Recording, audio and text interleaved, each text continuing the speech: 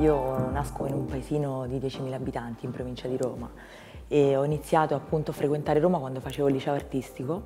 Le mie clienti sono tutte molto belle, hanno un unico difetto comune, che vanno sempre tutte di corsa, quindi noi ci dobbiamo ammazzare, cercare di farle uscire puntuali per i loro appuntamenti.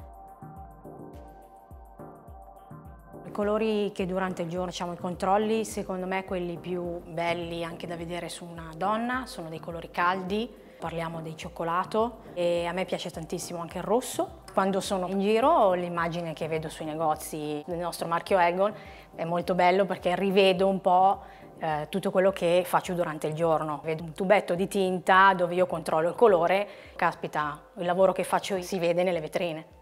Ok, diciamo che la bellezza per quanto mi riguarda è donna.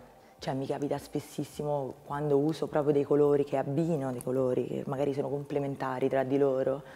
Cioè riesco ad emozionarmi, riesco a creare il contrasto col colore e in automatico il contrasto con la mia emozione. Il colore è emozione,